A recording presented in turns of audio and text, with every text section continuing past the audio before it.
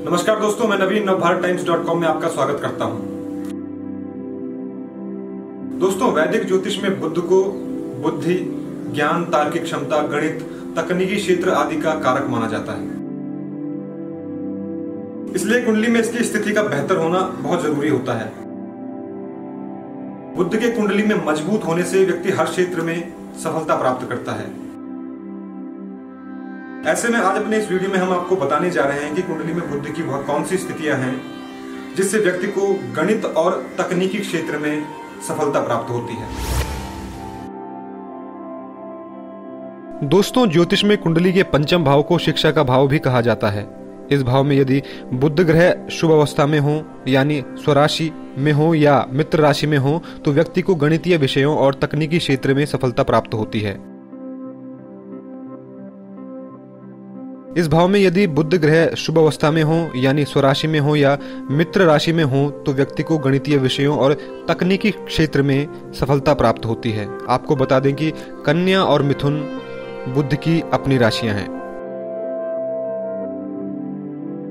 सिर्फ़ यही नहीं, यदि बुद्ध पंचम भाव के स्वामी हैं, यानी कि आपकी कुंडली में यदि पंचम भाव में छह या तीन लिखा हुआ है तो आपके पंचम भाव के स्वामी हुए बुद्ध।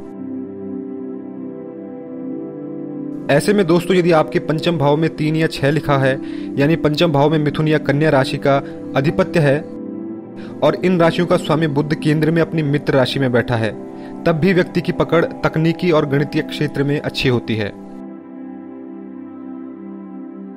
बुद्ध का प्रथम भाव में अपनी राशि में विराजमान होना भी बहुत शुभ माना जाता है।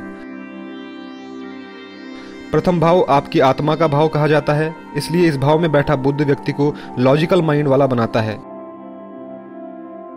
ऐसे लोग अच्छे कारोबारी भी सिद्ध होते हैं, और गणित विज्ञान जैसे विषयों में भी ऐसे लोगों को महारत हासिल होती है।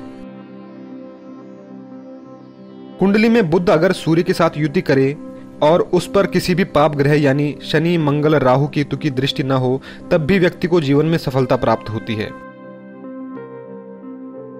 ऐसे लोगों के पास तार्किक बुद्धि के साथ ज़बरदस्त ऊर्जा भी होती है। यही खूबियाँ इनको तकनीकी और गणितीय क्षेत्रों में सफलता दिलाती हैं। तो दोस्तों, आप भी अपनी कुंडली में देखकर अब पता कर सकते हैं कि आपकी कुंडली में बुद्ध की स्थिति कैसी है। तो दोस्तों, उम्मीद करता हूँ कि आपको हमारे द्वारा दी गई यह जानकारी पसंद आई होगी। ऐसे ही रोचक जानकारियों के लिए चैनल को सब्सक्राइब ज़रूर करें और देखते रहें नवभारत टाइम्स डॉट कॉम। नमस्कार।